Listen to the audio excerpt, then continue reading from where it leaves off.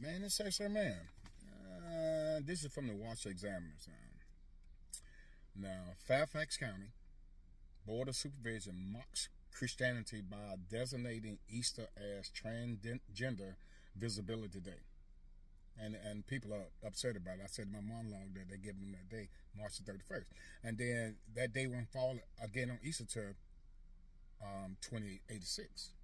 Now, the schools say they stand by the quote, Easter on March the 21st, and they stand by what they agree with about this here. So people upset about it. How y'all feel about it? You got Transgender Visibility Day on Easter. March the 31st. The next time it's going to happen in 2086. How y'all feel about that, man? Well, a lot of people upset about it, but the board standing by their decision, you know, on Easter now. So you're going to have Transgender Day on Easter. You got people praying on Easter.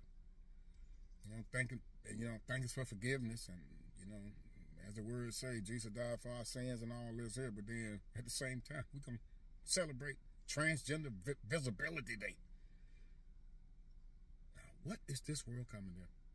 Hmm? I'm just asking, what is it coming to?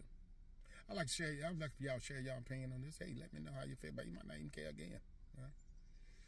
But I, I try to stay up on everything. But that's crazy though. On Easter now. I mean? I, I, I've been in this world 24,023 days old. And I don't remember nothing happened on Easter but Easter. I'm just saying. Only thing happened on Easter is Easter. But I had to share that with you guys, man. Leave a comment. Push like. I'll even share my stuff, man. Hey, hey, get my stuff out there. I talk about a lot of stuff, but that's crazy, though. Transgender Visible Day on Easter. and they standing by it. Must be a blue state. it's crazy, man. Every day. You know something, I can always make tapes of this stupid shit like this here. so, share my stuff. So, so network.